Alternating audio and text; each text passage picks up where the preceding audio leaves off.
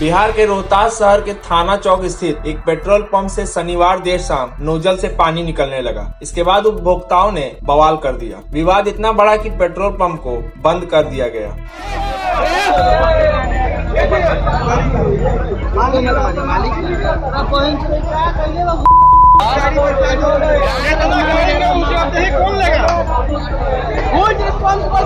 इसका पता उस समय चला जब एक बाइक सवार पेट्रोल भरवाने के बाद गाड़ी स्टार्ट करने लगा तो गाड़ी स्टार्ट नहीं हुई। इसके बाद नोजल से निकल रहे तेल की जाँच की गई तो उसमें से पेट्रोल की जगह पानी पाया गया।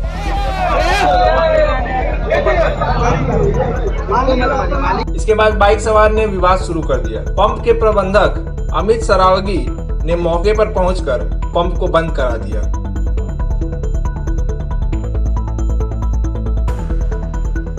मामले की जाँच की गई तो पता चला कि मैकेनिक की गलती से टंकी का ढक्कन खुला रह गया था। शुक्रवार देर शाम हो रही लगातार बारिश के कारण टंकी में बरसात का पानी घुस गया। इस घटना के बाद पेट्रोल पंप प्रबंधक ने पंप को बंद करा दिया। बाद में टंकी से पानी को निकलवा कर पंप को दोबारा चालू कराया गया।